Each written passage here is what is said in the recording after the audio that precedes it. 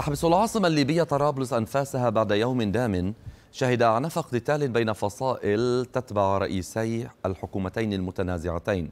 عبد الحميد الدبيبي وفتحي بشاغة.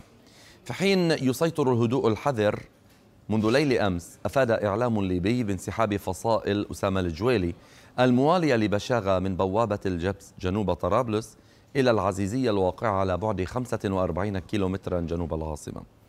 هذا وارتفع عدد ضحايا الاشتباكات إلى أكثر من 160 بين قتيل وجريح فيما تبادل المسؤولون الاتهامات وحمل كل من رئيس حكومة الوحدة الوطنية عبد الحميد الدبيبي منافسه فتحي بشغل المكلف رئاسة الحكومة الجديدة من البرلمان مسؤولية ما يحصل.